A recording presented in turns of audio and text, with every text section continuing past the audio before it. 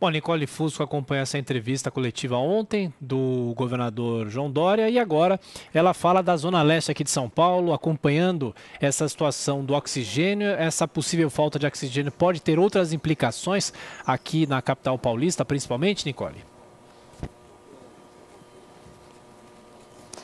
Pois é, Tiago. Infelizmente, sim, a situação pode ser pior daquela que foi confirmada inicialmente, até mesmo pela Secretaria Municipal de Saúde. Como a gente viu agora há pouco na reportagem, na sexta-feira, 10 pacientes aqui da unidade de pronto atendimento de Ermelino Matarazzo, na zona leste de São Paulo, precisaram ser transferidos para outros hospitais aqui da região, porque o que a gente sabia inicialmente é que havia o risco de falta de oxigênio. No entanto, uma reportagem do jornal Folha de São Paulo de hoje é, afirma que três pacientes faleceram naquela noite justamente por falta de insumo.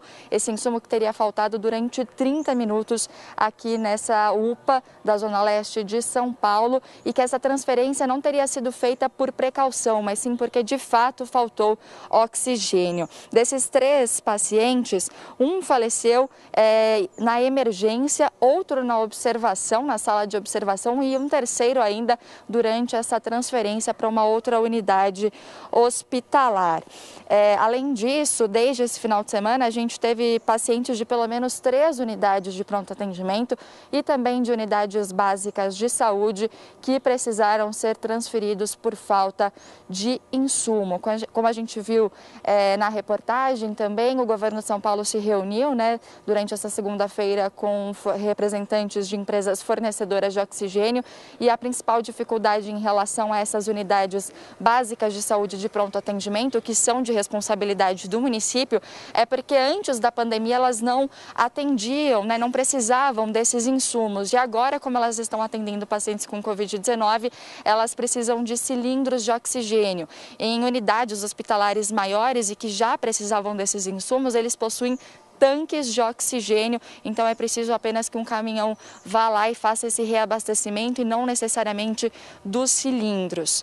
Bom, a gente tentou contato com a Secretaria Municipal de Saúde, também com a organização social que é responsável aqui por essa unidade e a gente ainda não obteve um retorno deles a respeito dessa informação que foi divulgada pelo jornal Folha de São Paulo. E, Tiago, uma outra informação que é importante a gente ressaltar é que a Prefeitura aqui de São Paulo suspendeu suspendeu a vacinação é, contra a Covid-19 nos postos drive-thru.